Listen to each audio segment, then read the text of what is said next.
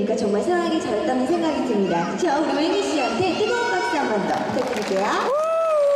네, 이번에는요, 어, 이대령이라는 이대령 가수가 올라와서, 아, 이대령 씨라고 말하기도 좀 그런데, 이대령 씨를 모셔서 노래를 청해 듣도록 하겠습니다. 자,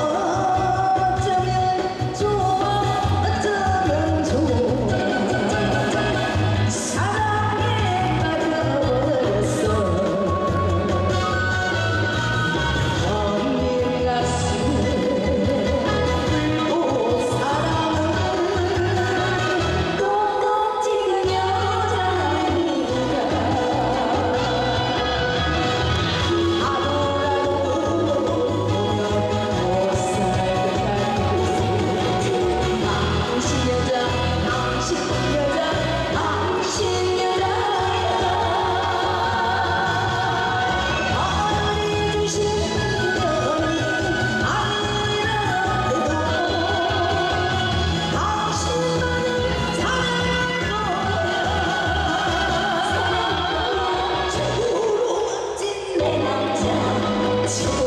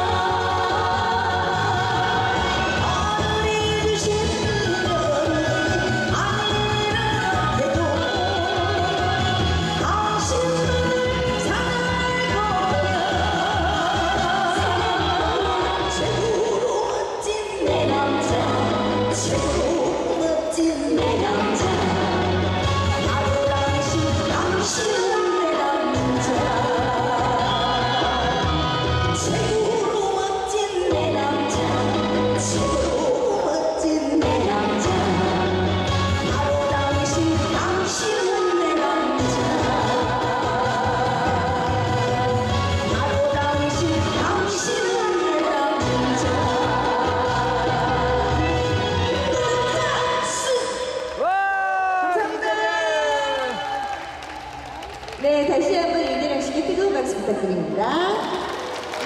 점점